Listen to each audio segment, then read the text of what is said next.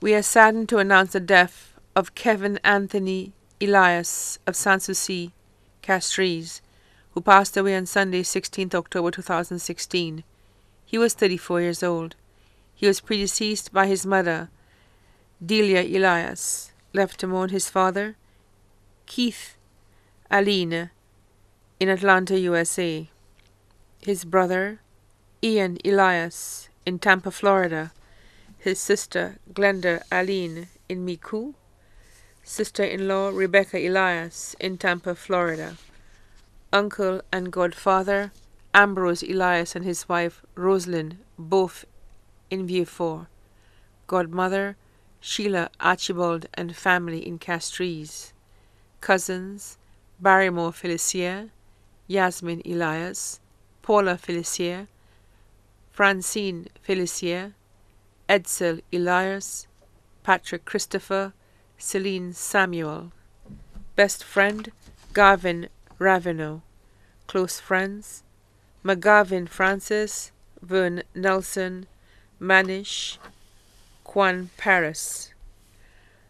Other relatives and friends, the Saint Just family, the Felicien family, the Inglis family of Bocage and Castries, the Charles family of Micoud, the Francis family of Cicero, Miss Jean Paris of Bois Miss Sandra Anthony of Castries, Mrs. Anselma Clouden of Castries, the Mondaisy family of Vieux and the USA, Mary Jacob and the Longville family of Castries and Trinidad, John Matre and family of Gros Islet, the Suma family of Sanssouci, the John family of Sanssouci, the Aline family of Dominique and the USA, the husband's family of Sanssouci, the staff of CIBC First Caribbean, the staff of Massy, formerly CFL, the staff of Flow, formerly Carib Cable, the staff of Food Center on the John Compton Highway,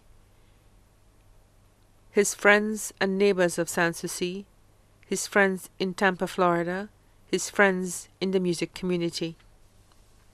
The funeral service for the late Kevin Anthony Elius will be held at the Basilica of the Immaculate Conception in Castries on Thursday, 27th October 2016 at 2:45 p.m. Then the body will be laid to rest at the Choc Cemetery. The body now lies at the Ramballi's funeral parlor on Calvary Road, Castries.